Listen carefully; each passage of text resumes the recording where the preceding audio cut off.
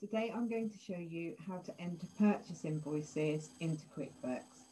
If you remember, it is okay to categorise your expenditure directly from the bank feed, but if you actually want to track your supplier balances for those that you're not paying straight away, then the way to do so is to enter the purchase invoices and then allocate the payments from your bank feed to those invoices once the payments are made.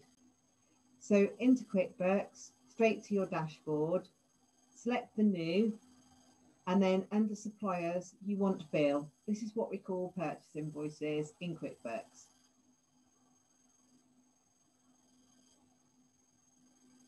Okay, so now we, we just enter all of the fields. So all of your suppliers who are already entered will be here in the list. If you need a new supplier, just select add new. You can simply pop the name of the supplier and save or you can also select details to enter their full details at this stage. Let's choose one that's already um, entered. So we can enter the terms. This will mean on the creditors report, it will show us the due dates, um, and that should be per the invoice. Um, the date, uh, the actual date on the invoice. Remember to change this and not leave it at today's date the bill number, the invoice number, any whatever reference is on your purchase invoice. Um, then we go down to the category. So you'll be familiar with your categories. It's probably better at this stage to try to use the categories that are already set up. Um, however, in a different video, I will be showing you how to set up new categories should you should you require.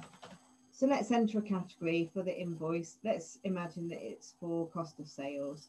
So the description, you can put whatever that you want to put. Um, and the amount, this here, because we have here that it's going to be exclusive of tax, if you're VAT registered, here you want the net amount.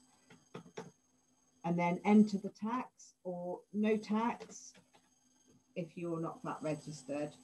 And then save and close. Or if you have uh, several invoices to enter, you can click the drop down here and change it to save and new. And that will literally bring you up a new screen ready. So once you've entered your purchase invoice, that will then show on your creditors report until you actually pay the invoice and mark it as paid from your bank feed. I hope this helps, but of course, if you have any questions, please do let me know.